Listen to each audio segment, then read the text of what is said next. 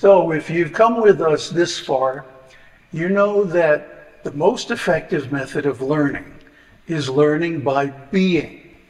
And being requires change. That's called becoming.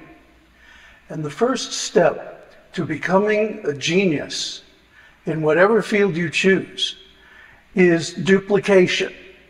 So what we're doing here is we're learning by becoming.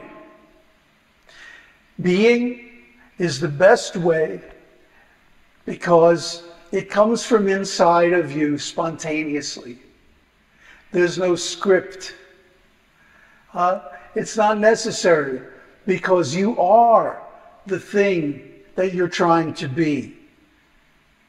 You are the genius, the master of the subject that you're trying to learn.